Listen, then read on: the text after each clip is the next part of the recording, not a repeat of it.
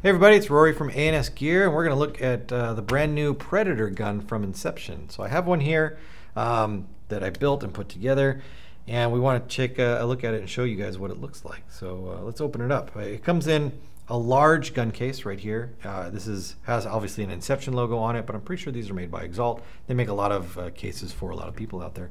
Um, so the large gun case style uh, with the Inception logo, so the carbon fiber gun case. Uh, what you get is two two sides right here. So you're gonna have your barrels on one side and your gun on the other. Comes with this um, this microfiber divider in there, so you can kind of move it around and change it how you want. The foam is pre-cut uh, for these particular pieces right here, but the foam that is in here, you can see me as I drag my finger along it right here, it's actually cut into all these little tiny squares that is in here. Um, so you can actually pick out a little square. If you want to make something bigger, make it smaller, make another little pocket right here, you could do that.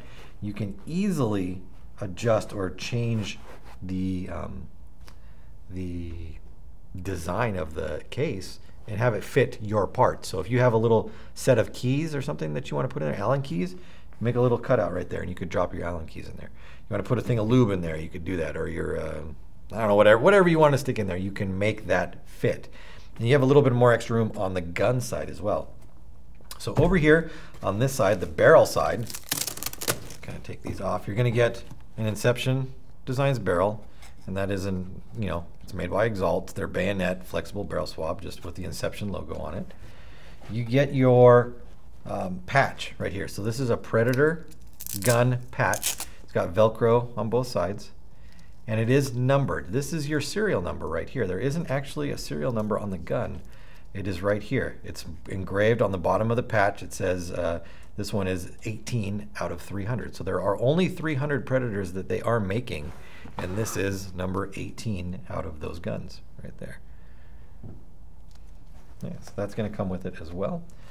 So when you get your gun, if you do order one, you're going to get two tips, and you're going to get five backs. Now this kit right here that I have is missing one of its backs. Um, when they sent these to me, I didn't get the 690 barrel backs. So in this particular one that you're looking at right now, the 690 is missing, but you will get one when you order the gun. So you're gonna get um, four standard backs, or the Stella backs. You're gonna get a 675, 680, 685, and 690 as your backs, your static backs. But you also get this ins or this back right here, which at the bottom is marked insert. So this will take uh, freak inserts. So if you want to run a um, an insert system barrel, you can do that as well with the insert uh, back that you have right here. So you have to go out and buy some inserts and then throw them on there. Now you get two tips as well. One of these tips, they're both 14 inch length. One is a 689 bore, and the other one is a 697 bore. So this one is very overbored, and this one is a little bit smaller. And the reason they give you an overbored one, um, this right here, this tip will work with all the backs, regardless of which one you put on there. So if you use the 690, it'll work. If you use the insert um, with uh, a 677, it'll work. But if you use this one right here, the 689 tip, you cannot go over in bore size on your back. So um, the 690 uh, back is too big for this. You have a wider bore going to a smaller bore. So as that ball travels through, it's going to come to a spot where it's smaller and it's going to possibly break and blow up inside of there. And also if you're using the inserts and you had um, like a 692, 695, 697 insert or whatever that you're going to use, you need to run the appropriate tip for that. Now you probably won't, why do I say that? You are, it's unlikely that you'll use the 697 tip. You could probably use the 689 on most things because paint's pretty small these days. But in that weird chance that you happen to go somewhere and all the paint they had was just too big, then you would get away and use the 697 tip because you're using a larger back uh, that's bigger than a 689. So that's why you get two there. All right, we're going to move over to the gun. So we'll undo these straps over here.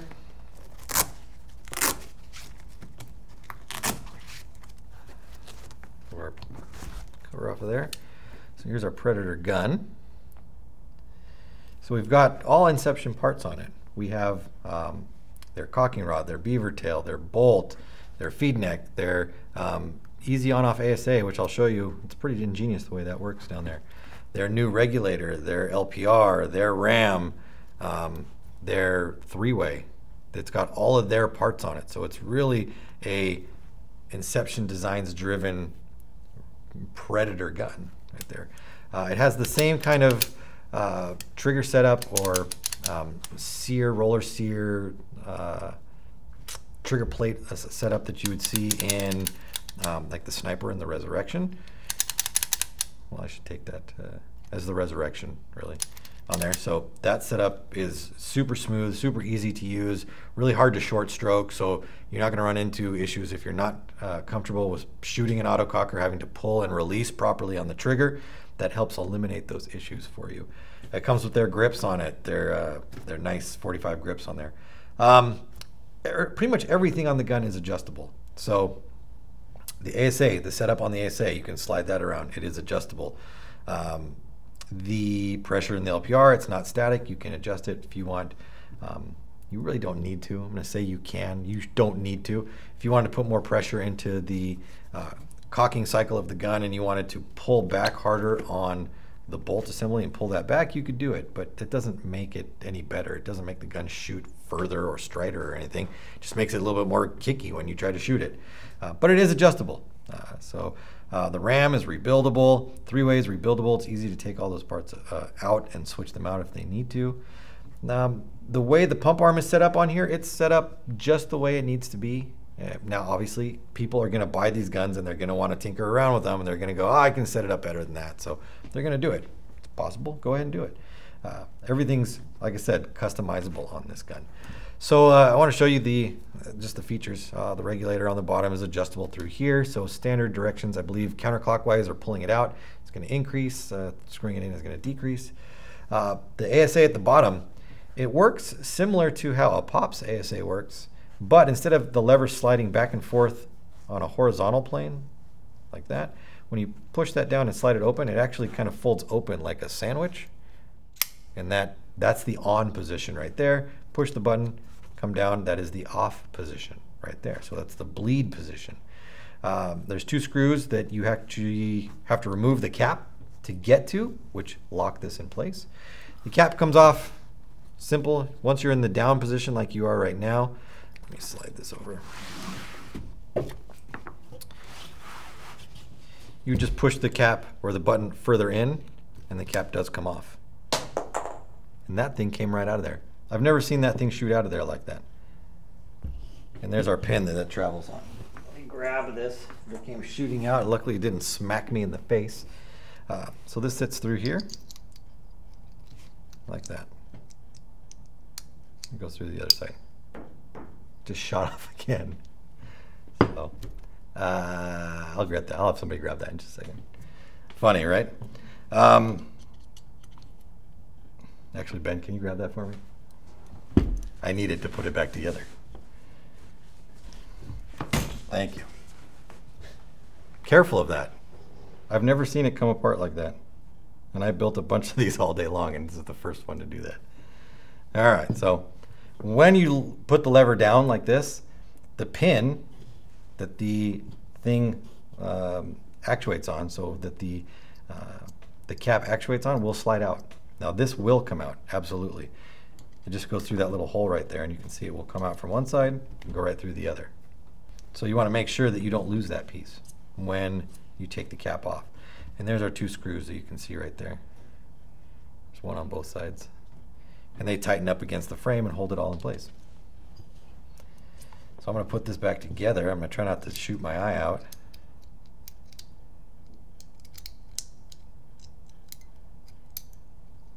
There. So I'm going to stand it up. I found this the easiest way to do it. Turn it upside down. Put the pin in. Make sure that that lines up there. Push it through so it comes out the other side. You can see the hole on that side right there. I want to make sure that this is coming through and lining up and coming out the other side. One-handed is a little different, a little difficult, I should say.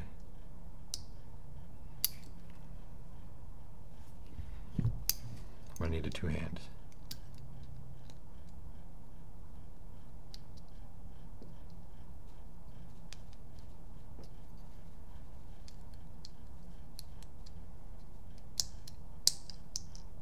There we go. So you can see it poking through right there. I'm to make sure my pin is in there, hook it on, and then push my pin all the way down so that the lever can go on. And then that's open and shut. Comes through there. All right, the other side right here, we've got our three-way, our three-way collar, and our actuator rod, all adjustable. And the nice thing about this three-way to change the timing on the three-way, you're not grabbing onto the collar and rotating it or turning it.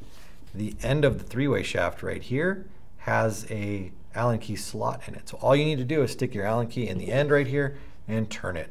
And that will you know, screw the three-way shaft um, into the actuator collar, um, either in or I'm sorry, not into the actuator collar. The actuator collar is part of the three-way shaft.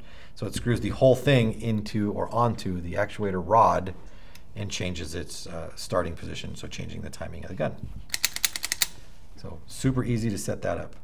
Typically you'll see it flush. If you can see right there, the end of the three-way is flush with the end of the, the three-way body, or the shaft is flush with the body. We have a safety right there. So shoot, and no shoot. So that's perfect for that. Um, what else I can talk about here? Clamping feed neck right there, and it is a low rise, so a nice short feed neck on there. The eye covers, you can see this one's missing its eye cover. I had it downstairs. Um, the eye covers are the same shape and design that the uh, the sniper and the resurrection eye covers are, but they are aluminum now. They are not uh, composite or plastic like they are on those guns. So um, aluminum style, so it really fits and uh, you know continues the lines of what the gun truly needs to look like. Uh, bolt. Let's pull the bolt out. Bolt pin, Delrin bolt pin. Bolt comes out. This is what their bolt looks like right there. It's got two O-rings here plus a soft tip a rubber tip. And I'm pretty sure this is the same tip that uh, Eclipse is using. So their soft tip that they use on the Geo and the ETHA platforms. So um, nice, super soft impact on the ball. It's covered in the front to help with rollback, so you're not getting that first ball and the, the ball that's sitting in the breech rolling back into the, the barrel tip and causing that second ball to come down and get chopped or cut in the stack right there. Um, and uh, yeah, it's a good looking bolt. Nice and lightweight not overdone. When we put the bolt in, the lettering says post 2017 full body. Just kind of telling you what bolt style it is. You want the lettering to be up so that everything lines up properly with the back. All right, so there we have it. Pretty sweet setups. These are um, super cool. I know everybody's trying to get their hands on one and they're coming out as soon as they can. Um, they're giving us as many as we can can and, and getting them out the door. So um, the first ones I finished up today and we're getting them out. As soon as we get more, we'll get those out as well. Uh, so I definitely recommend picking one of these up. If you have, um, if you're interested in cockers and you want a great one, check one of these out. Predator cockers from Inception Designs. They are very rare. There's only 300 that are being made. So get yours while they can or while you can. Uh, order yours now through ansgear.com.